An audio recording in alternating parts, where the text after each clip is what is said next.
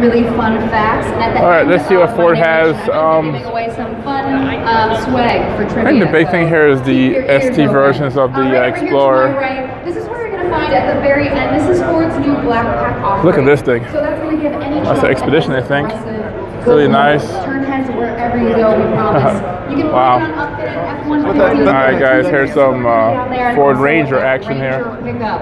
Next door to that, if you want a cool little uh, SEMA photo opportunity, we have that Ford GT Mark II. So you can get inside. looks like All right, so some pickup trucks out here, back home F-150. jealous.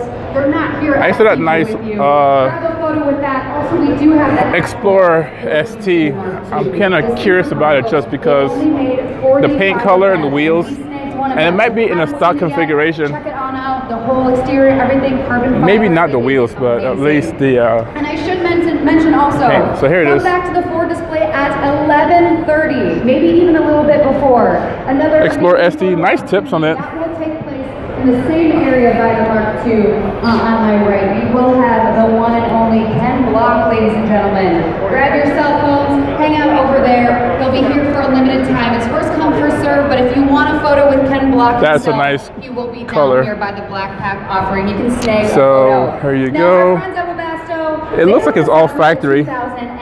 It is a battery electric Mustang, ladies and gentlemen. It's going to give you the best of both worlds. We're EcoBoost, high yep. performance, fully electric.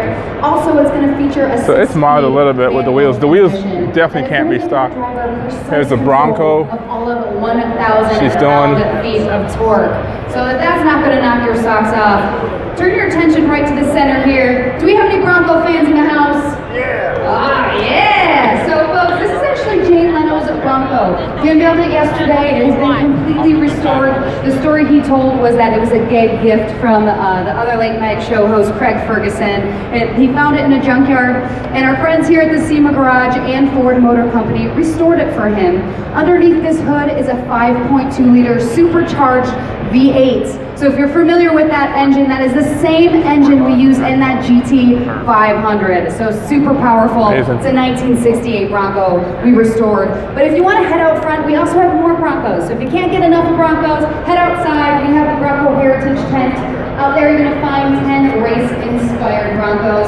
And also, if you like these cool shirts, All right, so some of these cars, uh, on Amazon, so you can check out. not really some okay, this is the Escape? Wow. around when you're back so uh, let's friends. talk about this because Outside, we have a fresh new I was So not aware of the Escape go out front, it's redesign. bigger, It is better 2020. We have your favorite it looks really good. Here's a white version right here, white and black. Demos all day long. Not bad at all. So, Von Gogh Ju- the Escape looks a little bit more attractive for 2020. Jr. and the one and only Holy cow. Not bad. wanna see that schedule, Mustang, here's a GT40. Over there you can see the lineup when everyone is drifting. And if you have them now, you can probably sign up to get a chance to ride with some of your favorites. Again, it's first come, first serve, but we will be doing this all week Very sharp car. If you don't get a chance today, no worries. Come back tomorrow first thing in the morning. Get out there and get on the track with some of your favorites. So folks, that's just a rundown of what is going on here at SEMA. We are also raffling away a Shelby GT500. Folks, this is a one-of-a-kind Shelby nice. GT500. It has that clear coat venom finish that's going to look like a nice stealthy chocolate color. Look at the wrap in this one. haven't seen it, It is outside as well. But tickets are $10. These cars are nice. Here you can purchase them at the information desk. or- I don't know why they stopped making cars except the Mustang, but uh, they definitely have some good designers in house at Ford. So, trying to get a picture of this uh, Ford GT again, just because uh, it's, the light is really good on it. So that's pretty cool, man. So That's, That's uh, going to be giving away this awesome Built Ford Proud hat. For the hat, by a show of hands, um, who here can tell me Sorry. how many? Uh, let's see. The diffusion in this thing is ridiculous as well. Yeah, fantastic. Right here.